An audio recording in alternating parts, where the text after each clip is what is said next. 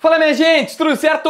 Vamos nessa então falar sobre Grêmio nesse vídeo. Quero trazer para vocês uma pauta bem específica, a situação de Luizito Soares como cobrador oficial de pênaltis do Grêmio. Por quê?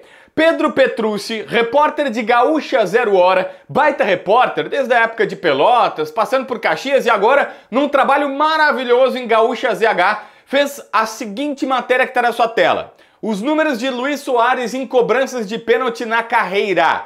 Aí ele até aponta ali que o Uruguai desperdiçou três das quatro cobranças no tempo regulamentar nesta temporada. O que obviamente preocupa demais o torcedor gremista.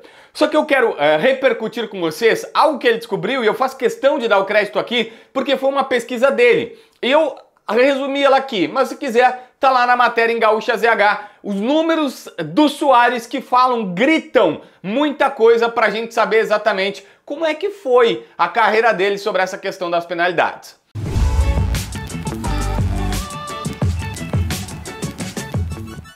Gente, vamos lá. Soares, primeira questão. Ele, tirando o período do Ajax, nunca foi o batedor oficial de pênaltis em nenhum lugar. E a gente vai falar exatamente sobre isso. Quer ver? No Nacional, quando ele surge, tinha um Louco Abreu. E o Louco Abreu batia muito bem. No Ajax aí ele era o principal quando vai pra, pra Holanda e tal, naquele primeiro um time pequeno da Holanda, depois no Ajax, ele era o principal. No Liverpool tinha simplesmente o Steve Gerrard, monstro, batia todas. No Barcelona, Messi ou Neymar, ele bateu dois só, dois não, ele bateu mais, bem mais. É, dois é no Liverpool, porque ele bate só dois. No Barcelona ele bate bem mais, mas assim, tem Messi e Neymar que geralmente é, eram os batedores. No Atlético de Madrid, aí sim, ele dividia ele o João Félix, às vezes o Carrasco, mas aí ele já virou um pouco mais protagonista, mas mesmo assim, rodando, fazendo rodízio. No Nacional, agora na volta, o Felipe Carbacho estava na frente dele. O próprio Carbacho era o batedor oficial e ele não. E na seleção, é, tinha sempre Forlan, que era o batedor principal. Quando Forlan sai, se aposenta, fica o Cavani e ele até bateu um outro pênalti pela seleção, mas ele não era o principal. Então, assim, a primeira questão: o Soares nunca foi um batedor de pênaltis. Ele sempre foi um artilheiro que fazia muitos gols, mas não necessariamente pênaltis. A gente viu aqui no Grêmio, ele tem 11 gols marcados, que é um número bastante é, expressivo na temporada, mas não consegue marcar muitos gols de pênalti. E aí vem a questão: o aproveitamento dele é alto mas as cobranças são poucas. Vamos lá. Ele tem 67 pênaltis batidos na carreira. Se a gente for falar, ele tem 18 anos de carreira, dá 4 pênaltis por temporada na média. Não é um número altíssimo, elevadíssimo. Dos 67 batidos, 53 viraram gols e 14 ele errou.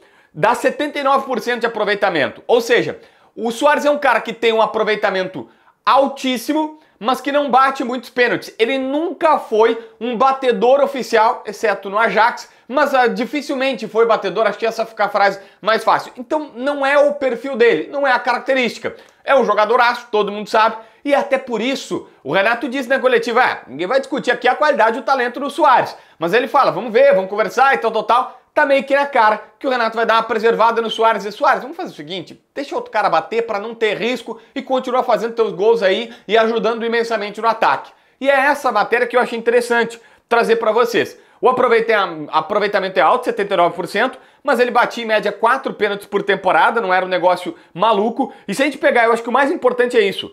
Louco Abreu no, no, Nacional, o Gerard no Liverpool, Messi no Barça, sabe? No próprio Nacional, agora na volta era o Carbacho, na seleção tinha Forlan e Cavani. Ele nunca foi batedor oficial. Não tem problema nenhum, o Grêmio colocou, ele tá numa fase ruim, de quatro pênaltis errou três e acertou um. Acho que, né, só chega lá, vai preservar ele e tudo certo, ninguém vai perder prestígio o cara é maduro o suficiente. Eu não duvido nem que ele mesmo procure o Renato assim, pô, professor, vamos botar outro cara para não me, né, para não não tirar minha confiança, porque mesmo sendo Soares, jogador de futebol precisa ter confiança e tudo mais. Achei bacana relatar isso para a gente entender o porquê que isso está acontecendo, porque a solução é super simples. Imagino que já no próximo jogo venha outro batedor, o Cristaldo batia lá no time dele, o Reinaldo quando voltar no São Paulo ele era batedor de pênalti, sempre foi muito elogiado. Até ele errou agora na decisão contra o Ipiranga, mas sempre foi muito elogiado por bater pênaltis. Enfim, alternativas o Grêmio tem. Se inscreve no canal, assina a notificação, deixa o teu like, comenta aqui embaixo para ver mais vídeos.